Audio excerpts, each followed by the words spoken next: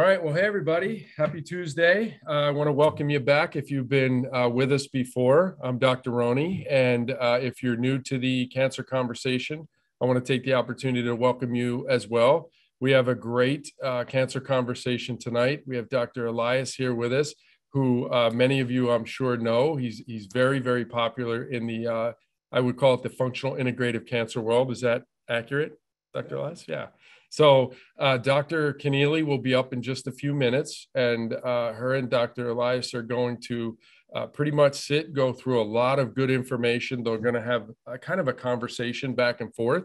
Uh, and I think it's going to be really, really helpful uh, for you tonight. So, as always, I'm going to give you just a brief intro, and then I'll introduce Dr. Eliaz, and then Dr. Connealy come on, will come on, and uh, we'll have a really good cancer conversation and a lot of great information for you. So let me briefly just go through. I know a lot of you that have been on uh, multiple times and many times uh, have heard me say this, but I think it's really important, especially for the new people coming on, to understand this philosophy and this plan of how to get well and give your best your yourself the best chance to get well in today's uh, you know environment. So let's start with testing.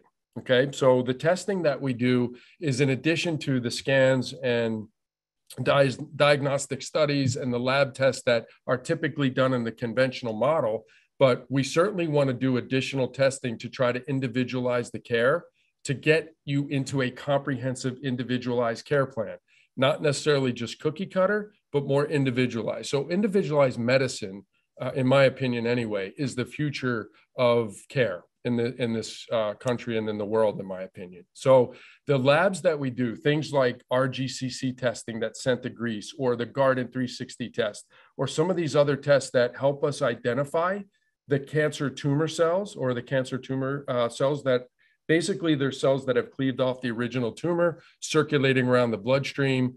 That if not detected and then reduced or or uh, limited could certainly turn into reoccurrence. So it's one of those lab values that we want to um, we want to do that aren't necessarily or isn't necessarily done in the conventional model that leads you to potentially a higher reoccurrence rate. So if we get that data and we understand it, and they say, hey, everything's good, no evidence of disease, we certainly can start working on knocking those down to actually prevent uh, a higher chance of reoccurrence. The second part of this from a lab testing are some of the enzymes, like nagalase, as an example. I'm only going to go through a couple because I think it's relevant. But nagalase is an enzyme that's secreted by the cancer cell that essentially blocks the immune system from finding or attacking the cancer cell. So if that's elevated, it's a good idea for us to know it so we can knock that down, right? There's others. PHI is one that tells us about the, the condition of the environment. Is it anaerobic? Is it aerobic? So we want to know these things. And when I say aerobic, means uh, a, cell using oxygen. Anaerobic cancer cells tend to use less oxygen and become more anaerobic. And so if we identify those and we can uh, know and identify, we can certainly knock them down to give your body a better chance, right? That's more individualized care. Those are just a couple examples, uh, but some worth mentioning. Then getting into what we call pillar two, which is the starve and the kill phase of cancer, right? So the starve phase can use some repurposed drugs to help block some of the pathways that feed the cancer cells. These are things like metformin, mebendazole, some of the statin medications, some of the parasite, anti-parasitic medications can be real helpful in trying to quote unquote starve the cancer. It's not, it's not actually that way, but this just these things can help block some of the pathways. And I think that's relevant. The other part of, of pillar two is the kill phase. So the kill phase is what are we doing to, to actually uh, knock down these cancer cells or kill these cells? Well, that could be chemo, could be surgery, could be radiation, it could be immunotherapies. In our clinic, it could be uh, fractionated chemo or uh, insulin potentiated therapy, is, is what it's called.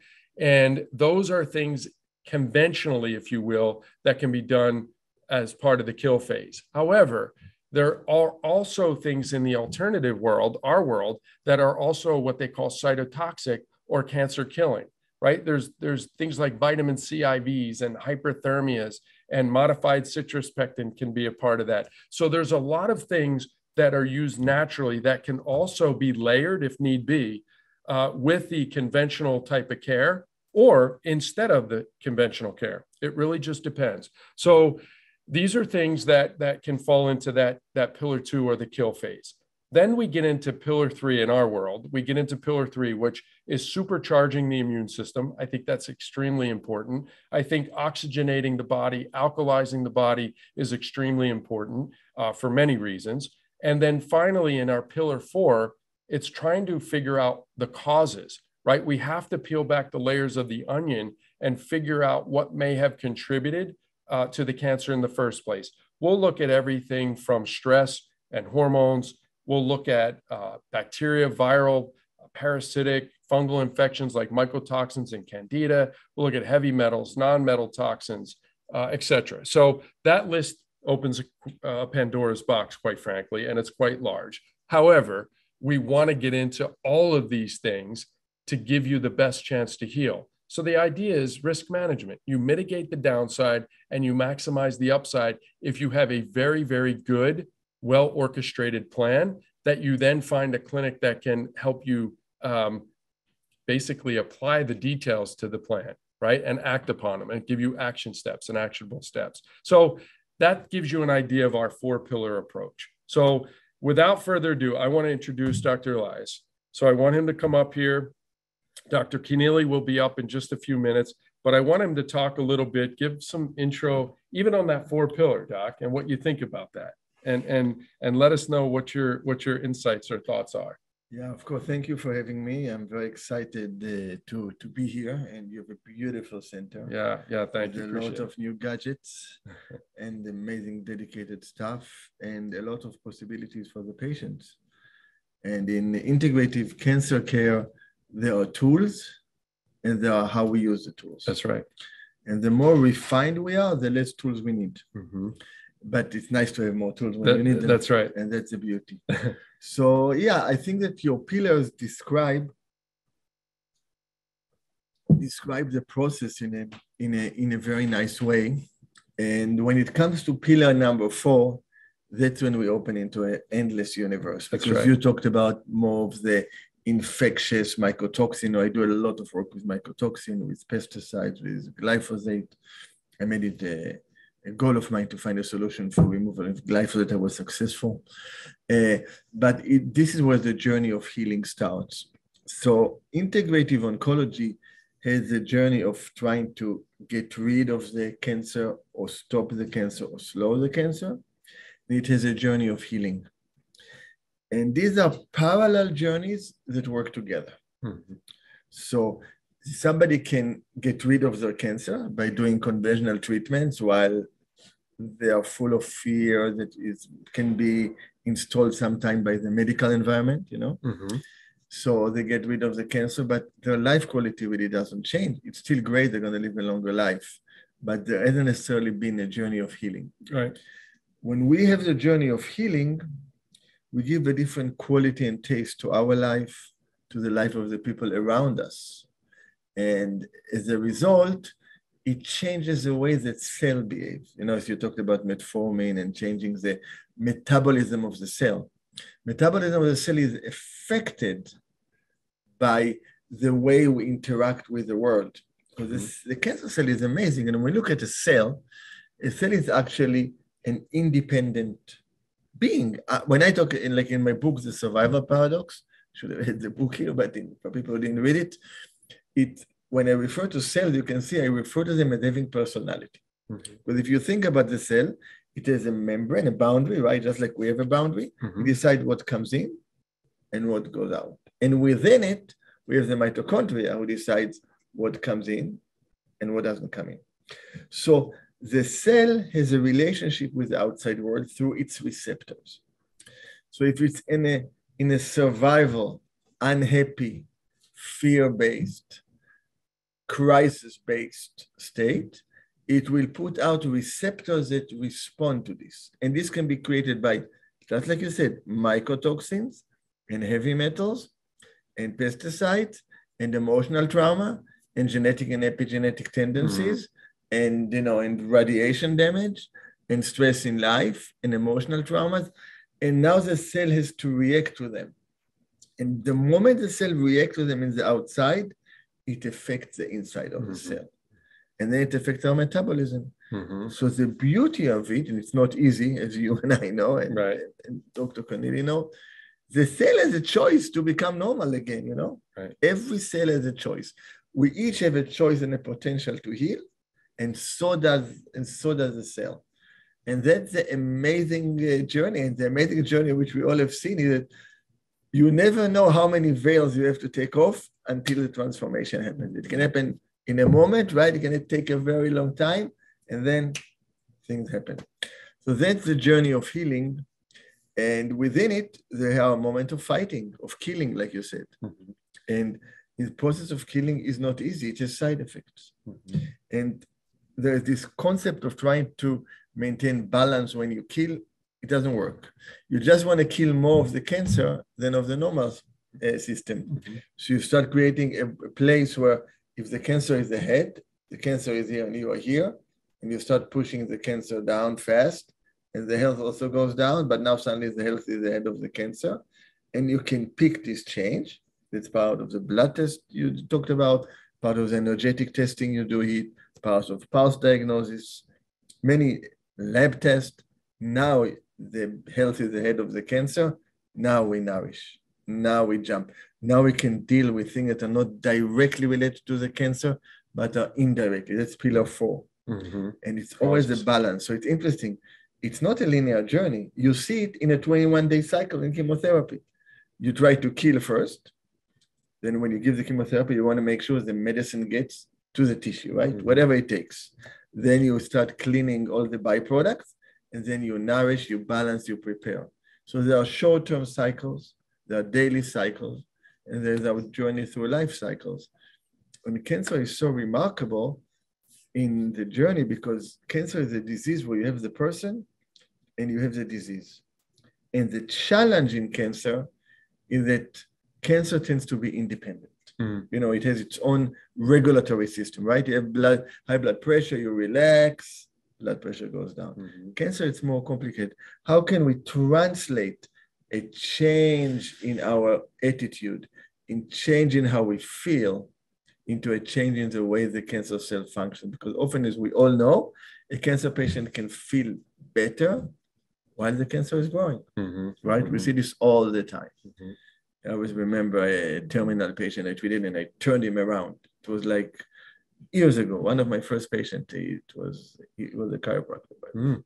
And he had CML and he turned into what you call blastic transformation. Once survived, twice survived, you never survive after two times. Remember, he came to the clinic, I did some it's a very simple thing. I was then working on the acupuncture license. I gave him homeopathy. He went into complete remission, unheard of. Mm. And then he went back to his home. He had to separate from his wife. She took him back and then she kind of kicked him out. Within 24 hours, the disease. I remember he left me a message. I was there with him when he left his body afterwards. He said, you know, said, Isaac, I feel so good. How is it possible I'm going to die in a few days? Yeah. So he healed, you know, he's, but we use the healing energy as a way to overcome the cancer. And so it's a dance between the killing part and the nourishing part, like you called it, boosting the immune system. Mm-hmm. It's really whatever it takes for this body as an amazing, miraculous system of tens of trillions of cells to be together and to overcome the cancer. And then within it, you have your killing bout. And that's exactly what you do here from mm-hmm. what you showed me, right? You have these different mm-hmm. pulses of treatment. So it's beautiful when you have so many tools you got a lot of choices. That's a huge advantage. You, have. you can layer, layer, such layer an amazing if, if they need it. Yeah, yeah that's a little bit a little bit broader an answer to you. Eh? Yeah, no, no, no. It's a great, yeah. great answer. Yeah. I love it. All right, so we'll we'll get into. Um, I'm going to bring Dr. Connealy. She's waiting patiently here, and and uh, I will get the slides up. Okay, here we go. So I'm going to introduce Dr. Connealy, everybody. So Dr. Connealy and Dr. Eliaz will will take you from here. And happy Tuesday, everybody. Thank we'll you. talk to you. Doc, nice meeting you. Okay. Thank you. All right. See you, Doc. And we don't have to use the slides all the time. Yeah, true. That's hey, true. so happy to be with you. I got to remember to look at the camera. Okay. Welcome. Good evening, everybody. We're so privileged to have Dr. Eliaz. And so um, I'm with, you know, I'm going to let him just dive in. So he's been here today uh, exploring our, you know, living environment where we take care of our patients. And as most of you may know, Dr. Eliaz has, has been doing this kind of integrative medicine for a very, very long time. So he's very familiar with his right brain and his left brain. In the medical world, they just use only the right brain, but an integrative doctor uses both sides and looks at all the possibilities. And that's what Dr. Eliaz's background has been, is looking at all the healing uh, mechanisms that can be involved in the healing journey. and so I'm going to let him because I want you to learn what we know on what is one big facet uh, of cancer. So go on and get started. Great. Thank you so much. So I guess we covered already the pillars. Yeah. Am I correct? Keep going. So, yeah. Go on. great. Okay. There you go. So a little bit about me. I've uh, close to 40 years of clinical experience. I'm a native of Israel, graduated from medical school Sackler in Tel Aviv in 1986. I also have a Master of Science in Chinese medicine. I'm a licensed acupuncturist, and uh, I have decades of training in mind body medicine, and I'm an active researcher. Published multiple peer-reviewed papers, and have a large NIH grant researching the removal of galectin-3 in sepsis and acute kidney injury. So I wanted to start today by talking about the survivor paradox. So what is the survivor paradox? We are all wired and built to survive. Every cell in our body is built to survive. And the paradox is that what drives our survival is also what gets us sick, what shortens our life, and what causes us a lot of suffering. How is it possible? Because we are built to survive, every time we are under stress, every time there's an injury, there is danger, can be toxin, can be trauma, it can be different things, we respond. And this response is automated within us. So maybe I'll go back one slide. So when it's automated in, in us, the initial response is through the, my apologies for the cough, is through the sympathetic system. We either fight, creating inflammation, or we, or we flight, we run away. The running away causes isolation. We hide. So these basic patterns are automated and we can change them. We can take a deep breath, we can relax, and we move from a sympathetic system to a parasympathetic. A lot of your treatments, you do this. But then the biochemical system turns on by using alarming proteins, and they don't turn off so quickly. As a, as a result, you get the survival response moving to inflammation, moving to organ degeneration, and it creates a devastating cycle. And this cycle is relevant for so many illnesses, but specifically, it's important for cancer. So, how is it done biochemically? Through a protein called galectin 3 that I coined. It's considered an alarming protein. I call it the survival paradox protein. It binds to different ligands that we'll see in a moment.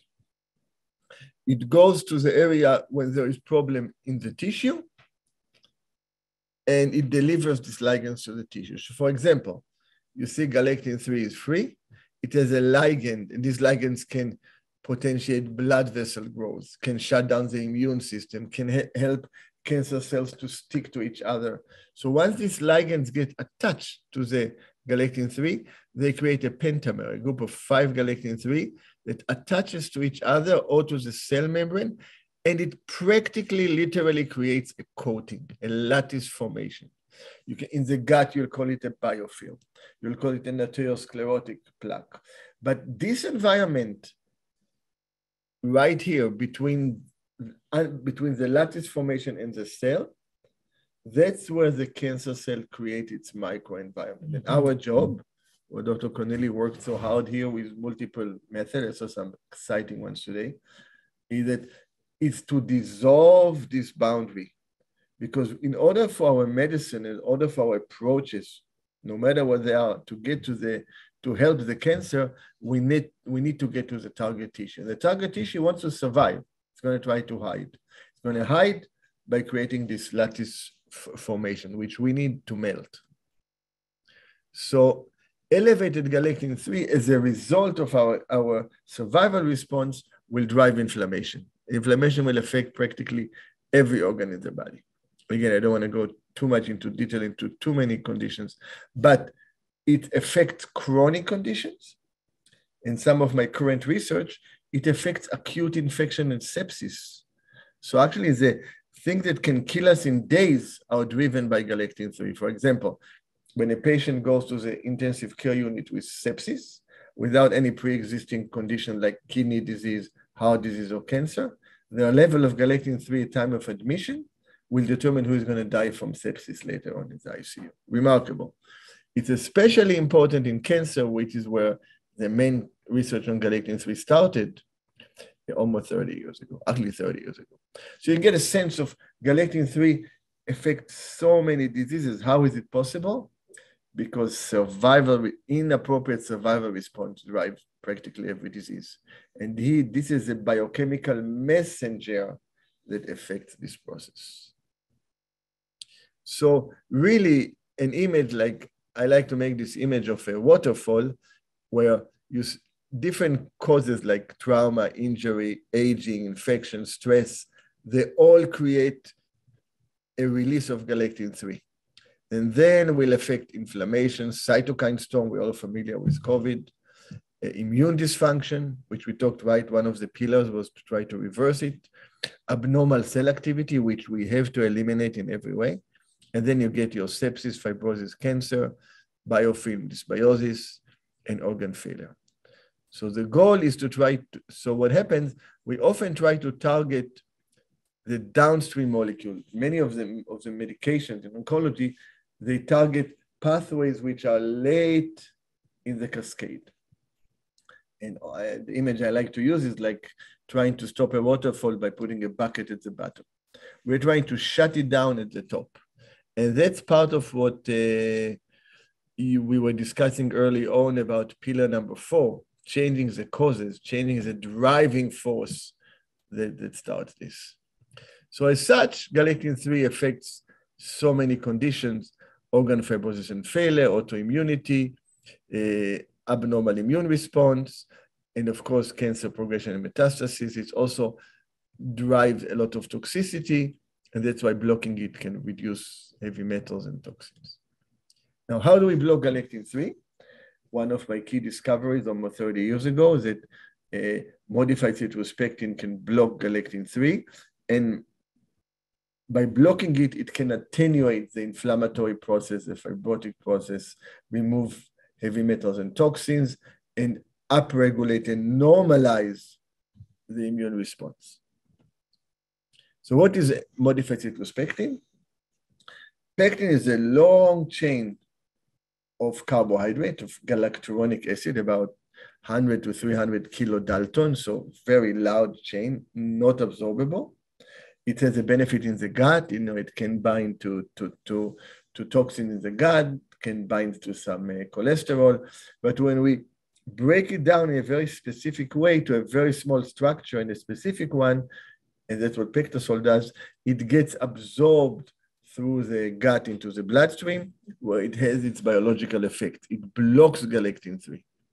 And as such, when it blocks galectin 3, it dismantles the pentamers and it breaks the biofilm. And so the beauty of this compound, it, it removes an obstacle to healing, but it also down-regulates the inflammatory process. So often, for example, when people use binders, which is one of the properties of modified citrus pectin, you will have a, a reaction, a healing crisis. Here you don't have it. Why? Because you are down regulating the inappropriate immune response. So here we got our galectin 3 waterfall and we are basically blocking it at the top. And that's why we look at the study, let's say on modified citrus pectin, on PectaSol, over 80 published papers. You'll see studies on kidney and on heart and on liver and on lung and on cancer and on, on so many fields because it's such a universal mechanism. So That's the summary of a different energy. And I think different benefits. And key one that I didn't mention so far is the ability to support detoxification, to remove heavy metals, well published. The balancing and support of the immune system, it really improves NK cell activation and activity. So there are more NK cells, natural killer cells, but they also work better. And it synergizes with other treatments. So we really want to understand that we are trying to shift from a survival mode to a mode of balance, of harmony. So modified citrus pectin offers a simple help and support, of a solution on a biochemical level. But we are multifaceted, multidimensional beings that function on, on all these other levels. And we want to really transform our, our inappropriate stress response. We want to transform our survival drive is actually hurting us. And we use different methods like meditation, breath work, being in nature, having support, being creative anything that allows us as people, anything that allows our community, anything that allows every cell in our body to feel safe, to feel in harmony, to feel loved, actually. You know, there's a difference when we are like this, when we are protective, that's a survival mode.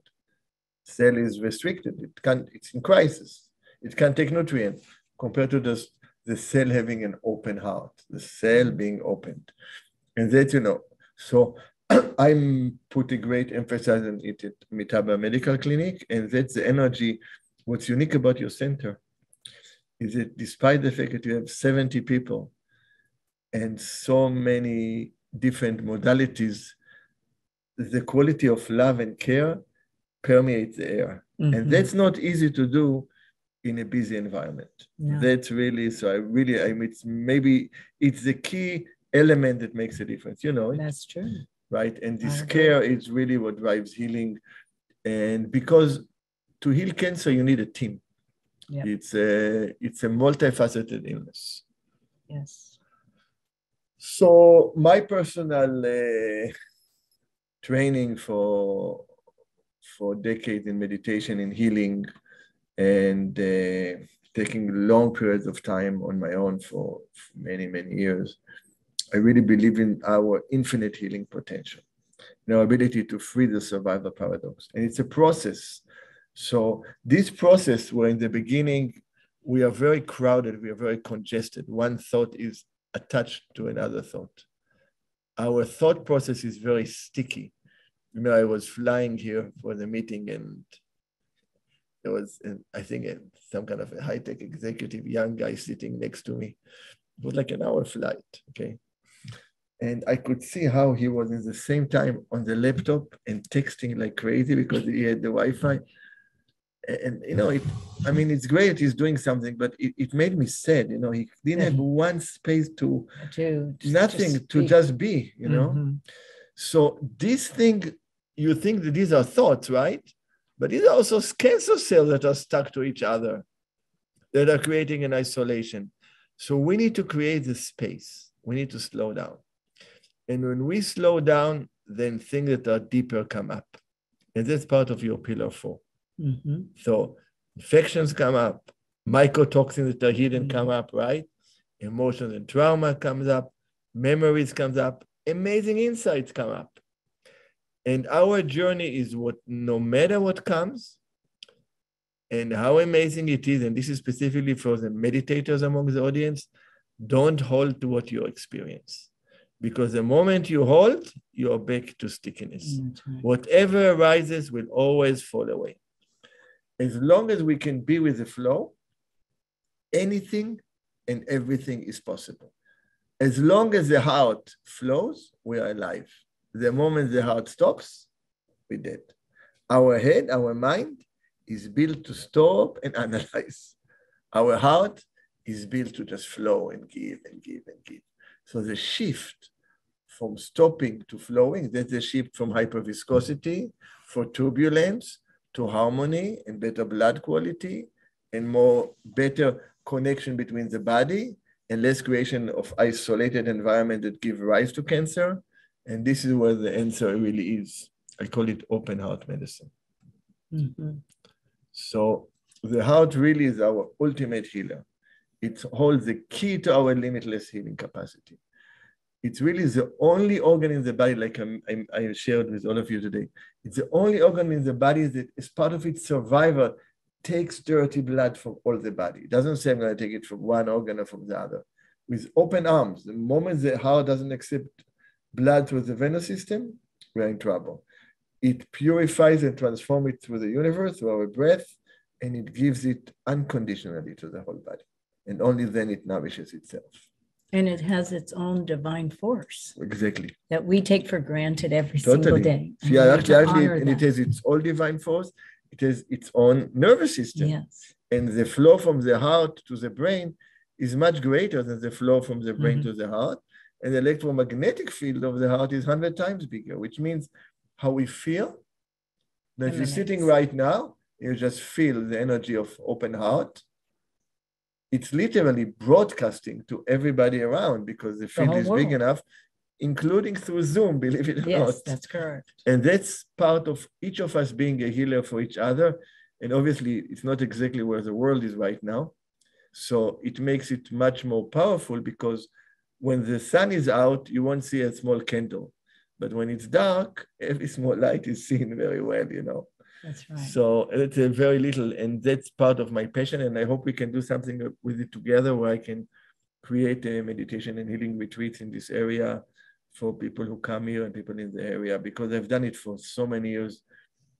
I feel a responsibility. On one level, I just feel like I want to go meditate, but I've been trained for, which I will, which I do, but I've been trained for so many decades. I was I, I had the privilege to be the doctor and the student really of the greatest meditation masters in the Himalayas for many years. So I feel a responsibility to share this and to try to make a difference. It's, uh, as I think it's my third act. Yeah. So I don't have your level of energy. so with this in mind, I want to thank everybody for the for the for listening, and we're going to close the presentation and open the floor to questions.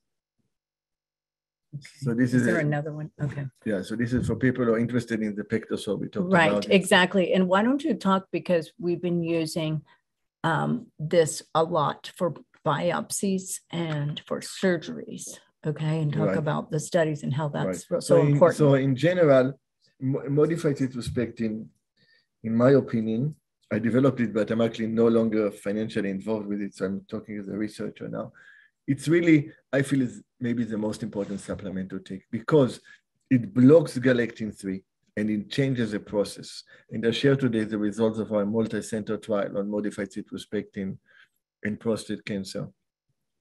And so the full dose for this is 15 grams a day, and which every cancer patient really, it's a basic dose. If the galectin 3 is over 17.8, then they should take a, a higher dose, 20 grams.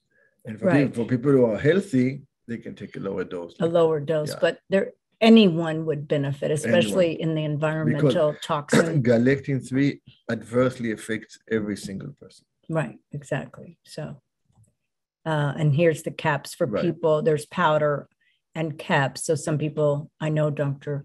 Eliaz takes um I the, take caps. My family takes powder. Yeah. So he takes capsules just because it's easy. So I personally take capsule just because it's easy. Right. So um and anyway, but it's you know, we're talking about the arena of cancer, but it's also so important. Oh yeah, a lot, a lot know. of the interest in this is in cardiovascular yeah, right. health, in kidney health, and, in uh, removal of heavy metals, well published, even uh, different toxins, especially if you're interested in removing pesticide and mycotoxins, you do this in combination with glyphosate mm-hmm. which we just finished our study showing that we are reducing glyphosate levels, which was, you know, it's not the topic for today, but glyphosate is is a Huge. silent killer that all of all of us have in our blood. Everybody has Everybody. it in their blood and urine. So exactly. It's a very critical thing so to address. finally, we developed a product that has data can really remove glyphosate. Yeah. So glyphosate you got everybody knows about that. I, or if you don't,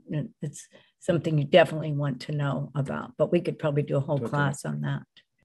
Okay, so for everybody, take a picture of this slide because this talks about new patient inqu- inquiries. So that's nine four nine eight six seven six three say four. And then if you want to directly order anything, um, the nine four nine, that's the direct line, nine four nine nine nine seven zero eight two one. And then the Center for New Medicine, that's for human optimization and uh, chronic disease, autoimmune, diabetes, heart disease, and everything. And that's 949 867 6419. So we'll be more than happy to take some questions. So, how do I get, do I just press to the Q&A? Yeah. Okay, so can cancer stem cells be destroyed, whether holistic, integrative, or traditional methodology? So traditionally, cancer stem cells are not eradicated by surgery, chemo, or radiation. Okay. Typically, they're most of the substances are natural substances. And so that could be um that I was looking at somebody said we couldn't see. So they can see us, right? Yeah. Yeah, yeah. So uh, can be anything from agaricus blazei, artemisinin, um, vitamin C, curcumin. I mean, there's a sundry of different natural substances. There are um, some medications. Naltrexone is one. Uh, doxycycline is another that will eradicate circulating tumor cells. So we do customized testing to see how your circulating tumor, what your quantitative analysis of the circulating tumor cells, and then what are the best extracts to use. Now, the other treatment that I've been doing, it'll be eight years in August, is something called SOT, and that's supportive oligonucleotide technique. And they take the circulating tumor cells, they reverse engineer a new messenger RNA to disrupt the DNA of the cancer cell. So that's given back as one IV, and that IV will have a 24 7 stealth killing effect for about four and a half months. So, um, so that is, you know, how to deal with the circulating tumor cells. It's probably the fastest growing field. There's five articles written per day about the topic of circulating tumor cells. So it's it's like a, an incredibly expanding field. Yep. So this question is for you. Yeah, so it's no problem. I mean, an easier way for somebody. question. The, the question was is it okay to open the capsules of MCP and put the powder in water and mix with the powder with stevia to reduce the stevia taste and how to use it for osteoporosis or high heart calcium score? What other supplements are good to go with MCP? Okay, it's a big question. So, Mhm. yeah, it's definitely so. If you want to reduce the stevia taste, it's cheaper and simpler to buy one PectaSol with which is lime taste and one which is blend, blend without flavor, and just mix them FF. It's much cheaper cheaper than opening capsules and Right. and and and and and a much better way of doing it. Uh, for uh, for calcium score, for high calcium score, you really need to take the full dose of PectaSol. PectaSol also chelates calcium. Interesting, but that's not the issue. You want to reduce the arteriosclerotic plaque, so you really have to take 15 grams. Good supplements to take together are a supplement that helps to dissolve clots and help viscosity like nito, like nattokinase, lumbrokinase, serrapeptase, Padma Basic, an amazing Tibetan-based formula with with dozen and dozen of paper, in- including a meta-analysis study on peripheral artery disease, and uh, yeah, so that's that's a, that's a good way to to actually integrate it specifically for for uh, for helping uh, cardiovascular issues. And there was The next question is what would be your best strategy to stay in remission from multiple myeloma? So you can say your part and then I'll say mine. Yeah, so multiple myeloma is a very interesting uh, disease, and uh, the first part in staying in longer remission from multiple myeloma is not to identify with the idea that it's going to come back. Correct. That's the first and critical step. So, for example, I had a patient with with active multiple myeloma that came to me, I think, about like 12, 13 years ago. At that time, CAR T cell was not available, you know. Right. Right, which is an amazing treatment, but a brutal one, but well, it really does a trick. And they came to me just after they did stem cell, and the whole vocabulary was that you know it still didn't come back. It still didn't come back, despite being spiritually open. There was there was a set habit in the mind, and it took me a long time to change their vocabulary, their thinking, while giving them supportive treatments. Uh, by the way, galectin three drive multiple myeloma, so modified citrus pectin and especially plosonocule is very important. And multiple supplement, all the supplements that Dr. Connealy mentioned for regulating this, the circulating tumor cells, quercetin and curcumin and berberine and metformin. Vitamin C IV is very useful. Very useful. Very useful specifically. So what happens, instead of the two years or three years, they were on remission from the stem cell for seven years. And what happened in these four years is CAR T cell came. Mm. And now they're going to be alive instead of not being alive. So it's very important. Don't buy into this idea that things have to come back right. because you are limiting your possibilities. And don't put a timeline. And then one of the secrets with multiple myeloma is to treat it on an ongoing basis. So even if you do a vitamin C IV every two months or once a month or three months, keep doing it all the time. Don't stop the care. The other thing is that you want to look at the image of multiple myeloma. So multiple myeloma is a very interesting disease is that it's hollow in the middle, right? The bone is hollow, which means something in our center sometimes is, is, is not strong enough. So you got to find your center, you got to find your mm-hmm. core, you got, got to find what works for you, what is your truth, and you have to really go with it. And then I, I love treating multiple myeloma. It's one disease where I get really good results. In fact, I just told you guys this story today about uh, about multiple myeloma. So I hope it helps. But Dr. Connealy, please end. Right. Well, I think with uh, you know you in the beginning, Dr. Roney uh, and Dr. Eliaz were talking about like all like we're a miracle every day and so we got to make sure our miracle is working for us. So we have to follow the rules and laws of how the miracle works. And then we need to verify with a integrative practitioner to so they can sort out what is the what is going on in, in the microscopic area.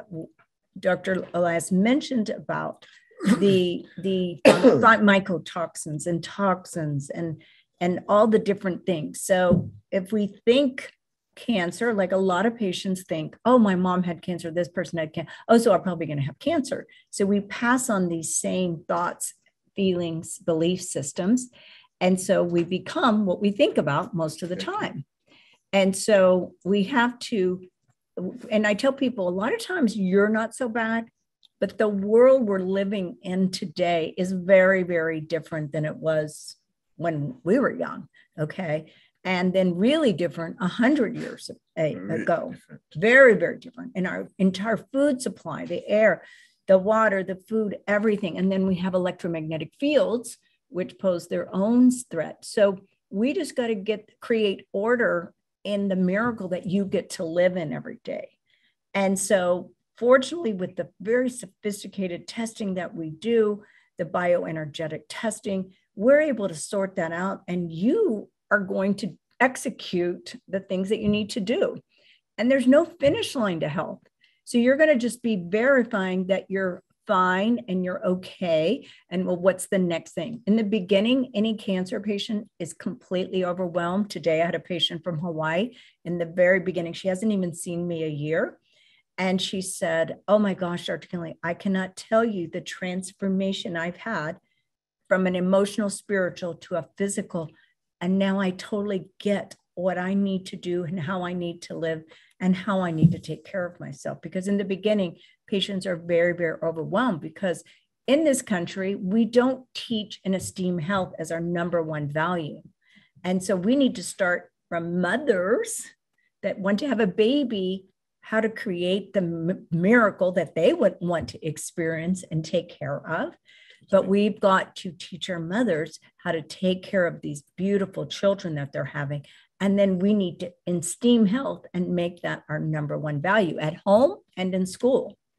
And so people we need to be verifying that we're healthy, but you can't go to a conventional doctor today and expect to think you're okay because I see it all the time because we are now practicing updated medicine. The way he and I practiced 30 years, years ago is very different than what I'm doing today. Right. And then every week we're learning new things.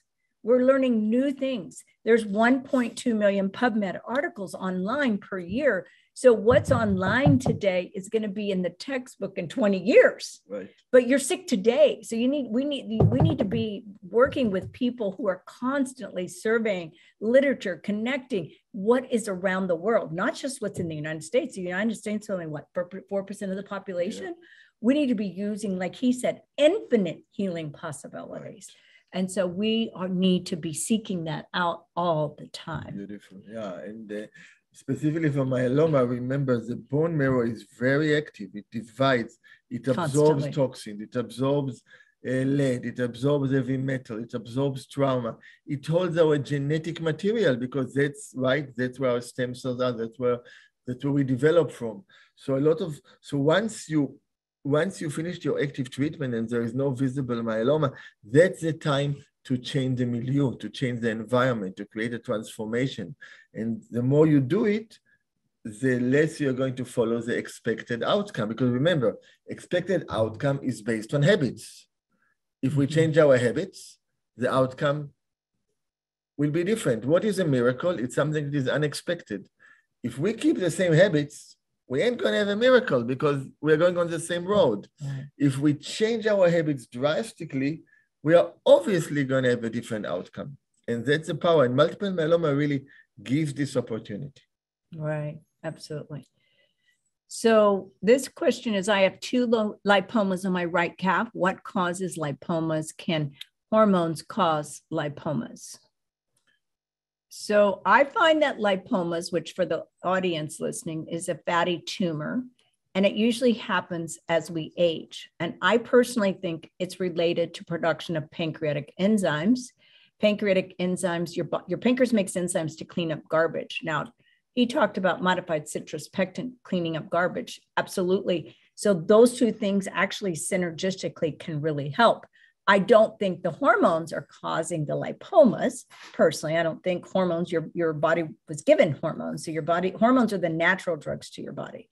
So I think it's a metabolic imbalance of many different things. But what I've kind of found over the years is pancreatic enzymes with, you know, it could be circulation, it could be um, also um, stagnation of tissue and just an accumulation of garbage, which modified citrus pectin is very, very effective at, at eliminating. Yeah, definitely. Lipomas, again, if the if the accumulation is not very toxic, you'll have lipomas. If they become more mm-hmm. toxic, you'll have a malignant tumor. So it's really a dance between helping our body, especially in this day and age where we are bombarded with so many toxins. Right. Definitely. So anyway, the next question, any recommendations on having surgical metal wire removed from chest from an emergency double pulmonary embolism surgery in the chest several years ago? Hmm. Mm. Well, they probably need that metal. I mean, yeah, yeah, yeah and it's going to yeah. be difficult to remove. That would be a quite drastic surgery. So uh, I doubt that. Uh, Arterosil. There's two things that I use for vein health. It's Arterosil and something called endocalyx, which helps the the endothelium of the art- artery to be healthy. And Boluoke is very good to right. break up clots. It's excellent. So that's something you can take for prevention and very helpful in this day and time of, of COVID, et cetera. So, um, and it says there's something, um, are just stuck there supposedly for life and make thermography scans look worrisome. Hmm. I don't know. That's kind of a, a unusual situation. So, but we can do some counterbalancing. So Dr. Eliaz has to go uh, catch his plane. So I will stay on. I would like everybody to uh, send your heart of love to Dr. Eliaz. Thank you. thank you, for having me. Yes, thank you so much. And for the great work. I hope to be back. Yes, we will. Thank you, we everybody, gotta, for joining. Yes, we've got to plan a healing transformation yeah, journey. Great. Let's do it. Yes. Thank you. All right. Thank you. Have a safe flight. Thank you. anyway, so um, the next question was about will EBOO clean out those old blood clots stuck on interior sidewalls and veins for the double PE? Well, EBOO is very, very effective treatment for you know filtering out the blood and ozone. Uh, what I personally like to do is I like to I take a supplement called Neprinol, N E P R I N O L. It's a very, very good supplement to um, help have the blood flow like a waterfall. And so now some people take aspirin um, uh, also to take, but I like the Neprinol because it's all natural agents. Uh, so, but the other person mentioned Boluoke that can lumbrokinase. So there's multiple things. And as you age, you know, your blood doesn't flow like it did when it was 15 and 20 years of age. So all of those things are very effective tools. Um, a patient asked if my nagalase test number is in the normal range, should I still should I still do the Bravo probiotic? No, you should be fine by not needing the Bravo probiotic suppository. And then in the future, you should get your nagalase checked to make sure it's still in the normal range. Uh, is PectaSol contraindicated at all with MUGAS? No, absolutely not. Um, is RGCC the same as the CTC test? Yes, RGCC is a lab that checks circulating tumor cell test. Um, the question is Can thermography solely detect breast cancer when one breast shows results show suggested inflammation, stagnation, excess estrogen?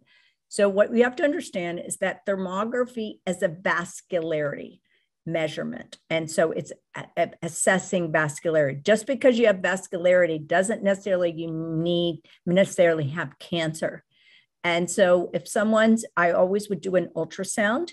An ultrasound indicates lumps and bumps. Maybe it's not big enough to indicate a lump or bump, but you want to get the vascularity down. I usually always recommend patients do iodine with coconut oil a lot sometimes i might recommend castor oil packs to the breast to reduce inflammation. Sometimes i use uh, uh, topical frankincense. Sometimes i recommend doing progesterone cream and then repeat that um, that thermography scan in three to six months depending on the situation. But you'll have to go, you'll have to work with a medical doctor who can read the thermography and assess all the imaging uh, that's going on and not just rely on someone who is not a medical trained medical doctor trained to do uh, the assessment and look at everything. You got to look at your hormones. You got to look at everything. Uh, you know when you when we look at a patient we can't just look at one blood value or one scan or one you know picture. We've got to look at the entire biological system so the best test for heavy metals, well, I like to use the doctor's data blood uh, lab, and you can do a provocative test. A provocative test means you provoke the heavy metals. So you give IV EDTA, and then the patient pees for um, nine hours and collects their urine, and then we look at the reflection of all the heavy metals. So because we're inundated with heavy metals in the environment in every jar baby food checked, uh, evaluated. They had organic and inorganic, and they both had heavy metals. So, heavy metals are in the air, they're in the water, they're in the food supply. So, taking something for heavy metal detoxification, because heavy metals really interfere with the DNA replication. So, they can be a great contributor to cancer. And so heavy metals are always important to address. Now, if you have mercury fillings, if you have mercury fillings, you have to have those addressed first before you do anything.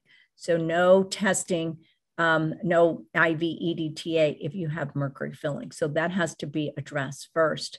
And then you can do testing with it. And then there are all kinds of different chelators. Uh, infrared sauna helps, obviously, baths help that we always recommend. Um, but heavy metals are a big role, like in the fires, like the, they have these big fires now going on. There's much more heavy metals in the environment when there is a fire because they're stored in the in the leaves of the of the trees and plants, and so they're released out into the environment. So it's a good thing to probably take heavy metal chelator. I would say really on a regular basis. The modified citrus pectin is great for that. And then you may need something else, a little help. We're just living in a time where, as Dr. Eliaz was mentioning, we're just uh, in an inordinate amount of toxins for everybody. So, on how how consequential are heavy metal toxins for mercury amalgam fillings? Well, I always tell people go go YouTube a have a filling and you can see the mercury being released.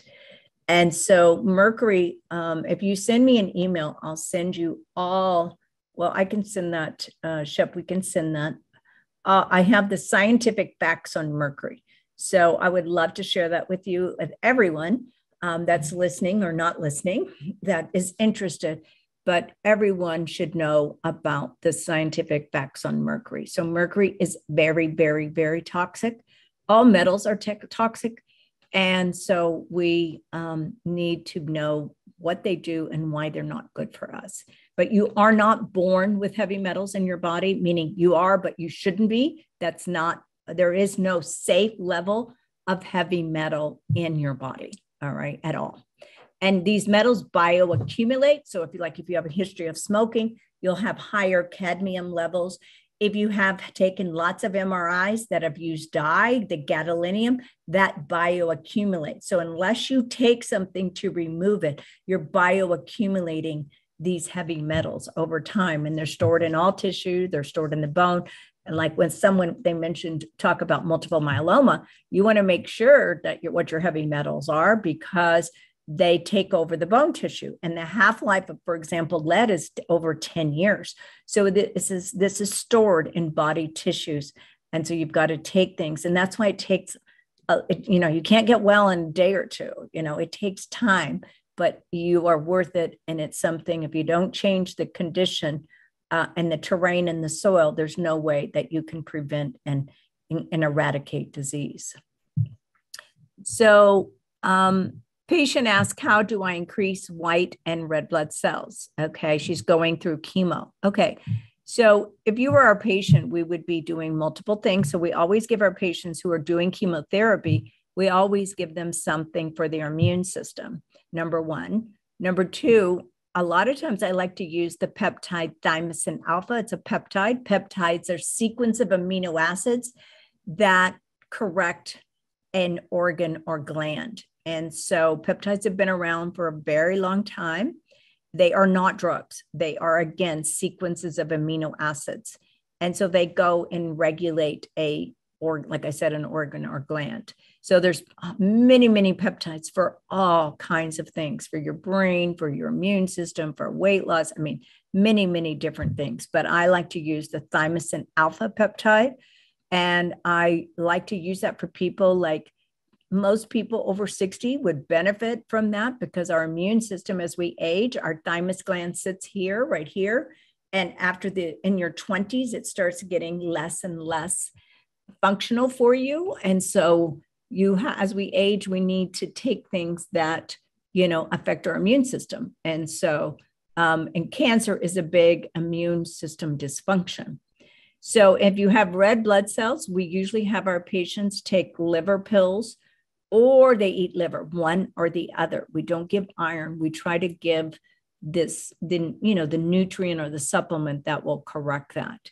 So one of those things we use liver pills and or like I said eating liver to patients because liver is like a complete food and and it has all the nutrients phosphatidylcholine and all the other vitamins to um, help um, correct uh, the red blood cells very well. And especially patients notice a lot more energy within a, a day or two of eating liver. So, um, so it says here the reason for asking the above is that after incorporating PectaSol and Vilasta, my light chains elevated. Hmm.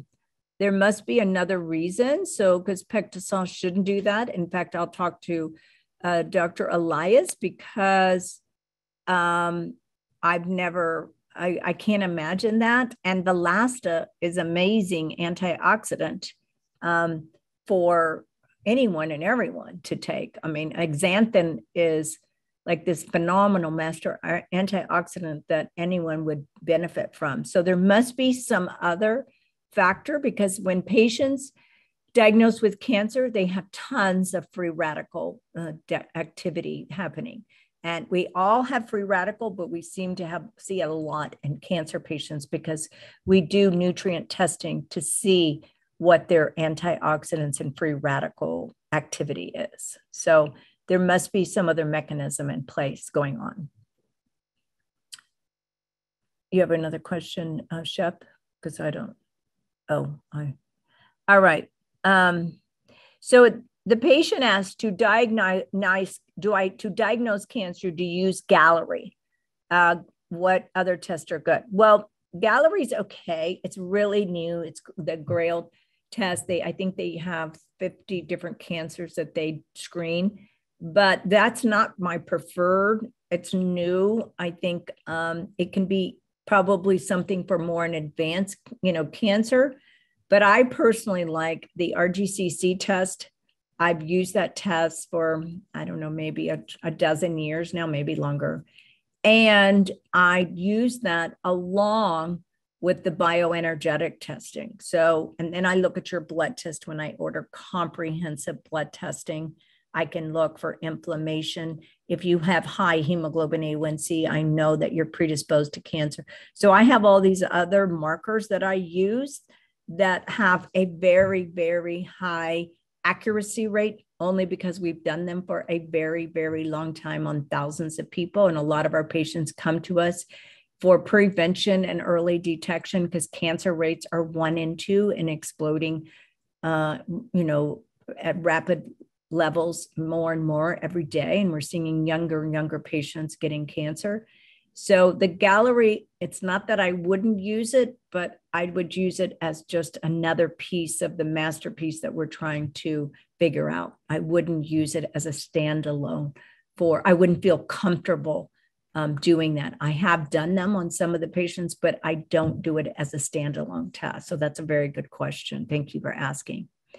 Uh, how do you rid the body of circulating tumor DNA? So there is a lab um, called Signatera that looks for circulating tumor DNA, like in col- uh, colon cancer and breast. They're using it in a lot of cancers. I think that is a very good test to do, but that checks circulating tumor DNA. So tumor DNA from the tumor. So it doesn't check circulating tumor cells, which are the wannabe cancer and responsible for 95% of metastasis. So I would use those in conjunction. So the patients that we have treated, we do again, we do an entire examination of blend panel. I check for circulating tumor cells. I also put them on intravenous vitamin C on a regular basis in the beginning. I it's I usually do it very heavily. And then I do the bioenergetic testing to look at everything else that we can't find in blood because you can't find everything in blood.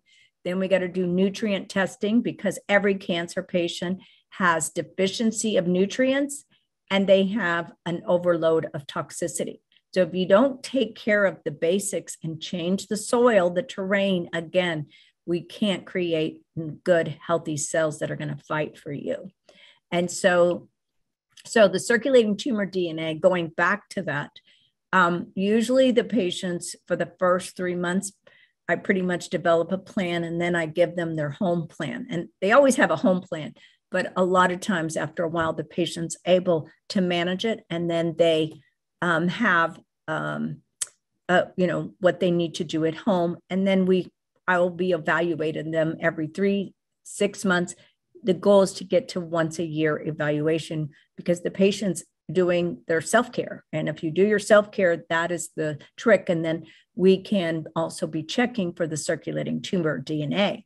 In the conventional world, they will recommend chemotherapy, but you can't just do chemotherapy because, first of all, there's not a 100% slam dunk with chemotherapy. Again, you have to get to all the root causes of why you have cancer to begin with. Dr. Eliaz brought up about you know stress in conventional medicine they don't address stress So we have to address stress, we have to address toxicity, hormones, metabolic aspects, everything. So, um, but we're very successful. And it's interesting because I had a patient who um, saw me for colon cancer, young girl, 40s, with a couple of young children. And her doctor at, at City of Hope told her, okay, you do your circulating tumor DNA is elevated, but he goes, oh, I'll recheck it. And so she came to see me, and we've she hasn't had an elevated circulating tumor DNA since she started with us. So she's just did the did the protocol, but I put her basically she's on a home plan, just doing the stuff herself, and then get period periodic blood tests, and not just circulating tumor DNA blood tests, but the other blood tests. We know we check tumor markers and D dimer and C reactive protein and all these other markers. So um, the next question was um, patient was using PectaSol and they didn't feel good, but um, she thinks it's I did I think it's a detox, and that's right. Sometimes patients, like I've had patients who do heavy metal detox, other kind of detox, and they are feel terrible. So I tell them to slow down on their detox, do some gentler ways, like a detox bath with clay, maybe only take the substance once a week, give their body a break, and then see how their body responds. But sometimes people can detox too fast and it's not good for them. So they can do infrared sauna.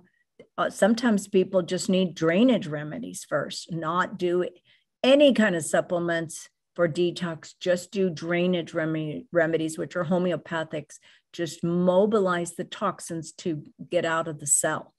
And so, because uh, some people are just too delicate or too sick to address that. So, um, this patient does increase of galectin 3 with stress mean that galectin 3 increase is driven by increasing cortisol? Yes, because we know increasing cortisol increases inflammation. So, yes, that's a very good question. Um, this patient says, um, let's see. This patient, good evening. I've had a breast cancer tumor, two and a half centimeters for 18 months that hasn't grown. I've been following a um, special eating, meditating, and working on forgiveness. Conventional doctors want me to have a lumpectomy. What are your thoughts? Well, I, I, I understand you've been growing, and I have several patients that, you know, wait and wait and wait until and so as long as they're under my care and they're I, I know they're not in a danger zone, then I let them do that. But when you've tried things and you haven't, you haven't made progress, it may be time to do a lumpectomy. So let me explain to you about the anatomy of a tumor. Anatomy of a tumor is very complex, its own universe, as Dr. Eliaz was saying. So, and they're sending out growth signals to the body. So it's also affecting the immune system when you still have this lump. So I think long term, that it may not be a great plan to leave the lump in there. And then you've got to make sure just because you have a lump, how are you addressing the circulating tumor cells? How are you addressing the foundational root causes that created this lump? I think the idea of forgiveness and all of that meditation, everything is beautiful. But at the same time, you should be partnering with an integrative functional doctor who knows cancer and knows all the aspects of cancer and can direct and guide you so that you are not be get into a dangerous situation. So um,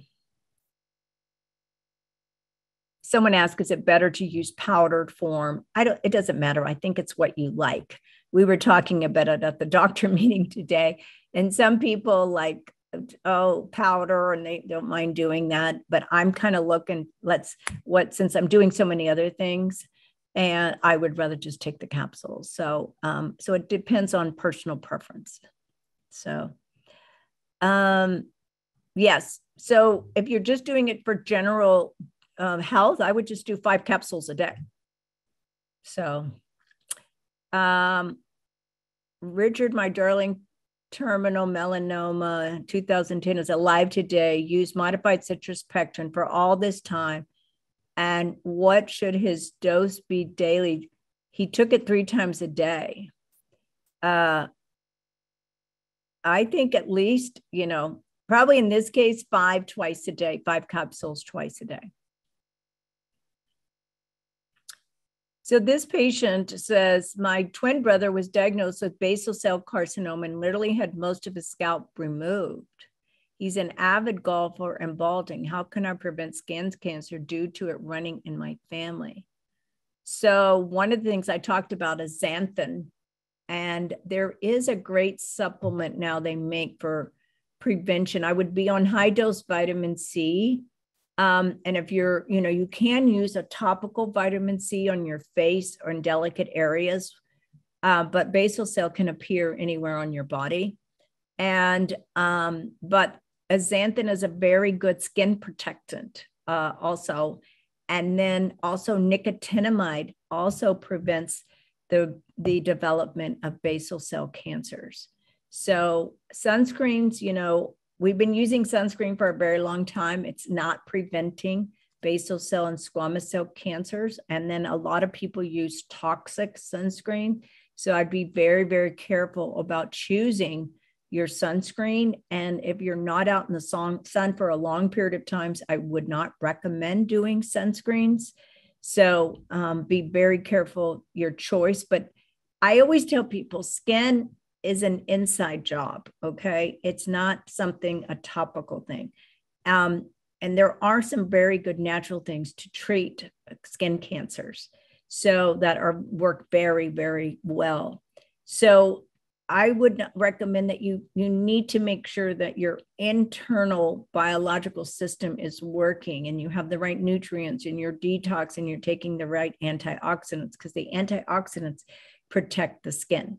So um, I think um, it's there's you know skin grows from the inside out. So a lot of people think, oh, I put it on my skin, but we got to think about what we're putting in our body so that we have good skin. So. Um, so is modified indicated if your galectin 3 is normal? Yeah, that's why I don't even check galectin 3. One, it's never covered by insurance, but number two, um, it's good for anything and everything. So, and then if you're older, you know, fibrosis, I mean, like everybody is getting some kind of fibrosis in their body because of aging. So, modified citrus pectin is like a vacuum cleaner of stuff. So, even if your galectin is normal, it it can be an it can be actually artificial levels. So I think it's better to just kind of thing in this day and time to be taking it. Um, how does it compare with Vitality C that was recommended? Well, yeah, vitamin C is a different substance. So vitamin C, everyone, if you look at the work since they, I would say for the past 80 years we've done on vitamin C, it's probably some of the most profound work was Linus Pauling. And so um, I think vitamin C, there isn't a soul who should not be taking vitamin C. And what so I mean by that is everyone should be taking. So I give it, I gave it to my children early on, and when they were toddlers, because you know they'd go to school and get sick. So I would always use vitamin C. Vitamin C is the antidote to like heavy metals. It's the antidote for chemicals and toxicity. It helps your immune system. We're the only mammals who do not manufacture their own vitamin C. And because of our environment, I mean, I know I've said this like a broken record, but if you read what I read, then you would be saying the same thing and observing the same thing. We are living in the most extraordinary toxic times. It's indescribable what we're living in but you know my job is to do all this research and homework all the time and what i read every week is is is very very abominable. And but at the same time we have the knowledge to manage it. And so um, so we just have to take charge of our own health because going to an emergency room and or hospital those are just for emergencies. For you need to learn to master your self-care and the people who master their self-care they don't have emergencies. They're they're they're enjoying life and taking care of themselves. That doesn't mean they're perfect. That just means that most of the time they have set up their their their healing living environment at home and that's what you have to do. Um um so it says i don't know what you said about the ordering yeah we don't like silicon one patient mentioned about silicon dioxide we don't like that either so we try to find things that don't have it so I, I appreciate that comment. It's it's you know it's always trying to find things that don't they don't put extra added ingredients. Um, and patient said, how many PectaSol daily for remission? I would say at least you know five grams a day. So that's five capsules or one of those scoops.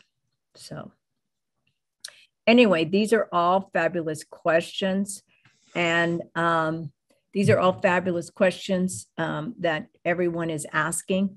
Um, people are, well, actually, Dr. Eliaz came up because I personally have recommended for biopsies and surgery for patients to take five grams three times a day. So, and then a maintenance dose, I've been giving cancer patients five twice a day. Now, if you don't have anything going on, I would just do five a day.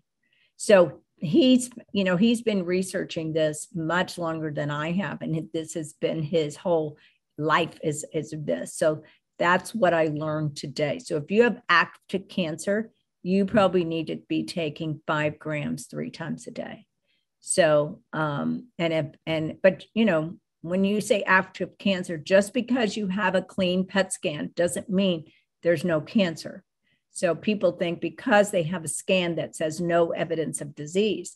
And if you are just relying on just scans and you're not correcting the terrain of your body, then you're definitely not going to, um, you know, you're not going to achieve the success you want to until you've done a complete analysis of your, you know, personal inventory of your life and then your daily existence the sleep, the water, the food, the purification, um, addressing every aspect. If you have yeast, like I, one of my patients today flew in from Oregon, and I've been seeing her for like five years.